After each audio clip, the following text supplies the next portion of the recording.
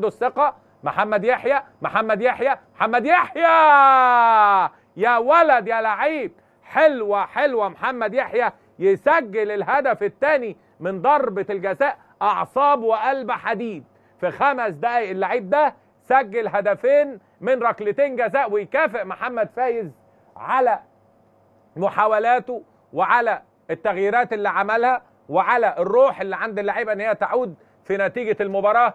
والدقيقة 77 نفس اللاعب محمد يحيى يسجل هدف تاني وتصبح النتيجة 2 2 أي سيناريو أي تغير في مجريات المباراة ما تعرفش العملية رايحة فين وجاية منين.